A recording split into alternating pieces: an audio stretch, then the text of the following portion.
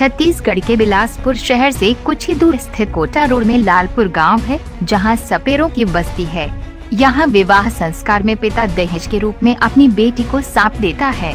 वहीं वर पक्ष भी उपहार भेंट करता है।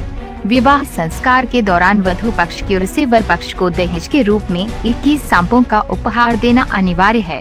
इसके बिना विवाह नहीं होता। अगर वधु पक्ष के यहाँ इक्कीस सांप नहीं हुए तो वह बस्ती के अन्य सपेरों से उनके पालतू सांप लेता है और उपहार, दहेज की रस्म पूरी करता है। जहाँ शादियों में दहेज के रूप में अनेक उपहार देने की परंपरा है, वहीं आज भी सपेरों के बीच शादी में सांप देने की परंपरा है। जब यह रस्म पूरी हो जाती है, तभी विवाह माय होता है। वैसे तो सांप का नाम सुनकर सभी के मन में एक डर बैठ जाता है, लेकिन यहाँ बच्चों का खिलौना ही सांप है। इनके माँ बाप महँगे खिलौने नहीं खरीद पाते हैं, पर बचपन से ही बच्चों को खिलौनों के